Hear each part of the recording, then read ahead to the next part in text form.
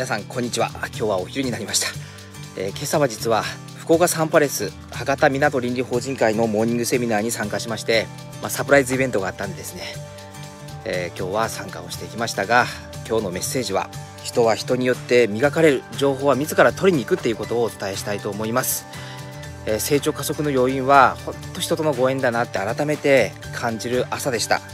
実はその前の昨晩もですね坂田幸太郎っていうですねあのセミナー業界では超有名人なんですけども、えー、同世代ではあるんですが私はちょっと敬遠してました。なんかなんか違うなと思ってて。夫婦でぶっ飛んでてこの坂田夫妻っていうのはうんアチーブメントさんの経営実践塾でですね実は同じチームメイトになりましてすごく親しく話はしたんですけどもなんか違うなと思ってちょっとこう距離を置いてたんですね。そんな自分がいました。でも羨ましかったんです。すげえなーって。でもちょっと無理だなって。私そう思ってたんですよ。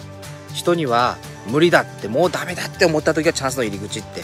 散々人には言ってたんですけど坂田幸太郎っていう人を見ると無理って思ってました。こんな宇宙人みたいにはなれない私にそう思ってる方いらっしゃると思います。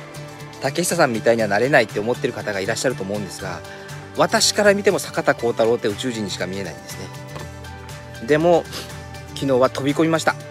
もう素直に男として乾杯です。もう素晴らしいと思いました。彼は今セミリタイアして沖縄に住んでますがあの愛する奥さんを本当幸せにしそして半径5メートル以内の人間関係を素晴らしい状態を築き上げています。もうそれが全てです。どのような手段であろうが彼は社会貢献国家貢献しているっていうことも言いました。働かないことが国家貢献と。意味が分かりませんでした最初。彼が言うのは仕組みを作ることによって雇用を生み出しそして仕事を生み出してその仕事の喜びを仲間に与えてるんですよね。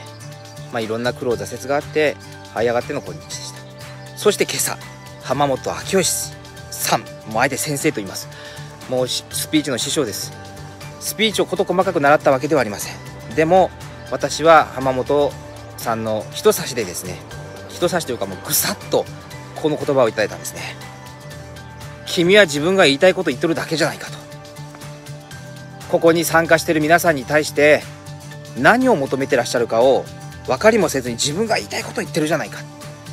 私は3年前中須川端倫理法人会の講演の席で、えー、その後にですね浜本さんからその言葉をいただいた時にうわ怖って思いましたが刺さったんですね。あ本当やって。もうこの人のおっしゃる通りやって思って素直に聞いたというかもう受け止める以外になかったんですね方法がそれからその会場に入ってそこにいらっしゃる方々が求めていることは何だろうって人間理解をしよう。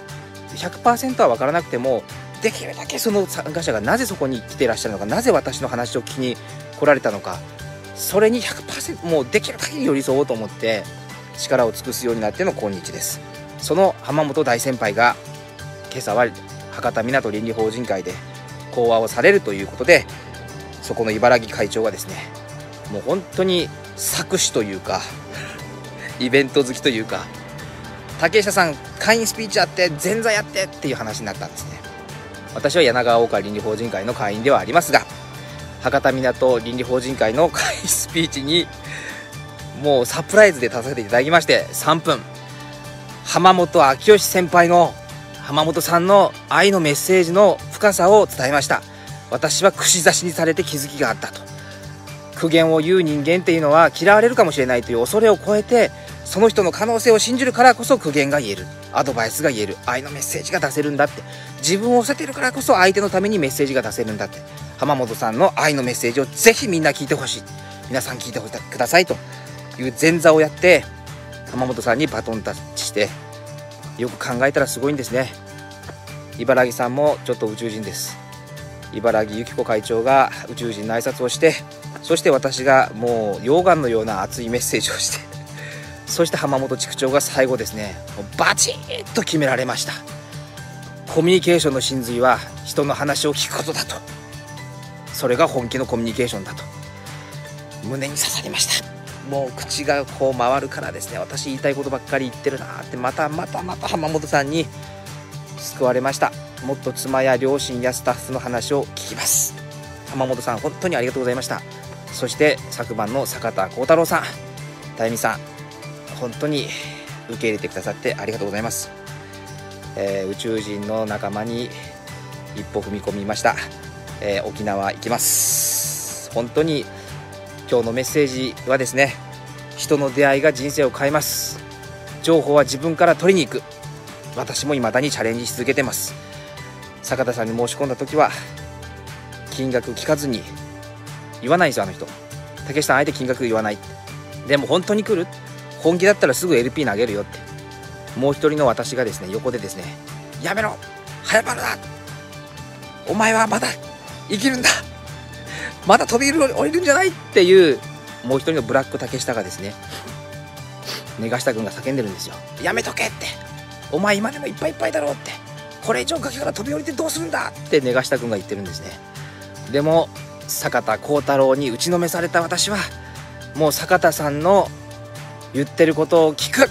そして今朝の浜本さんが言ってることを聞くっていう姿勢でまあ受け入れたんですね。金額聞いてないのに行くって決めて後から金額聞いたら自分が思ってるのの3分の1以下だったんでホッとしました。怖いんです。崖から飛び降りるって未だに怖いんですよ。それでも飛び降り続けます。